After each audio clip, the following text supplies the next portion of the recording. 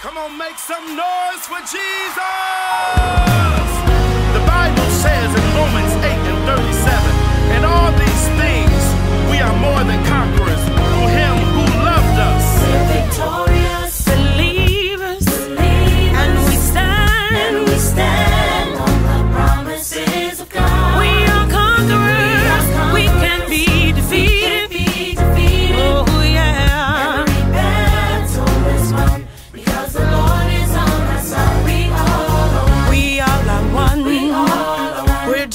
together.